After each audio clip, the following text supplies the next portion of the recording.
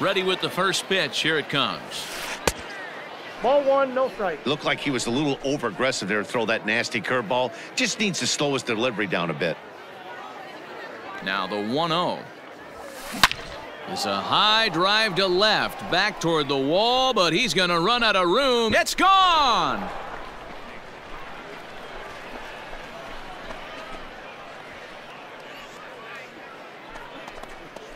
A solo shot here to left, his third home run of the ball game as they've widened this lead to eight now.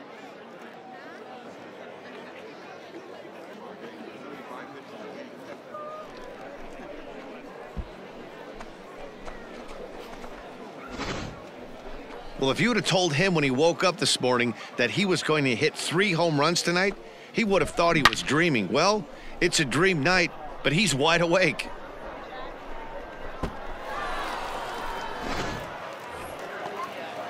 So striding forward now, Wyatt